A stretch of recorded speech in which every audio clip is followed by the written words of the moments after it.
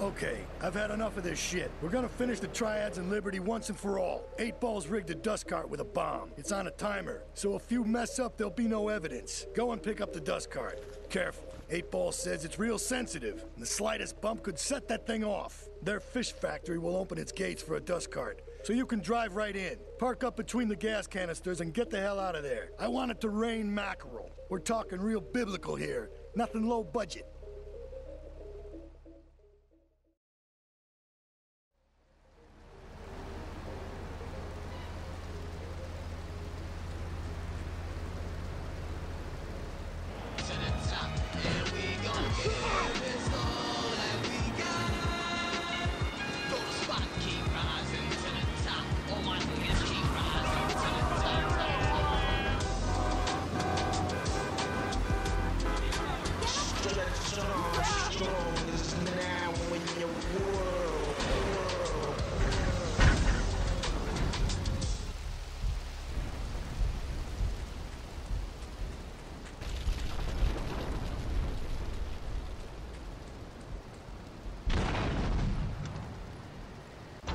While I'm driving. I was bored stupid at my daughter's recitals and my son's Little League games.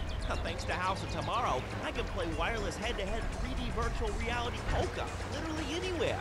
If it's a flash in the pan technology of absolutely no use to anyone, you can find it at House of Tomorrow. Remember, only technology makes life worth living.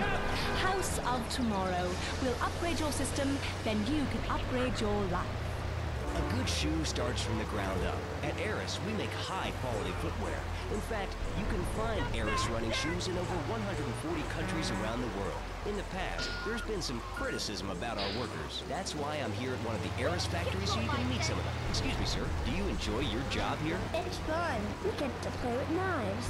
I see. Is there a real sense of teamwork? My friend Joey sewed his hands together. Wow, you're learning some real skills. How about the salary and benefits? Yesterday, I made a dollar. See, that's the kind of dedication we have to our employees and the quality of our shoes. Eris running shoes. Always running from something.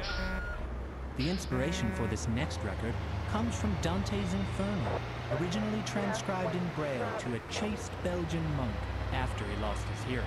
This powerful fugue can overpower the senses, much like a 12-year-old nephew who lets you bounce him on your knee one last time. Molto adagio.